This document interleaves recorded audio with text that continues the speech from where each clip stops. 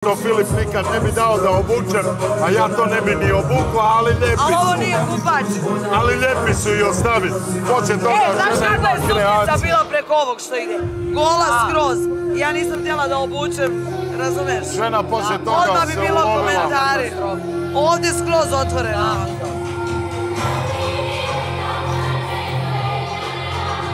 Bolje ti komentariši ove stvari, znaš. To će tek biti.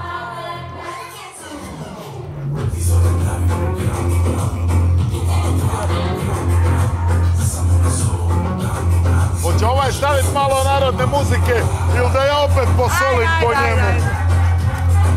Ovo je DJ Nema i Panda.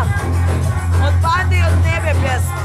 Kad vidiš sliku, ja i kolega, oj, kad bude vidjela majice. promovišeš pesmu i za čas. Kakva slika? Da, da. Pa ja i kolega, ja i Zet. Kakva slika? Za majice, da imamo za momačku. Ali opet je dobro dok jednom ne Gospode svane, drugom ne svane. Pa kako kreneš, kako kažeš. Da. Kad ovako ne... Daj nam da imamo.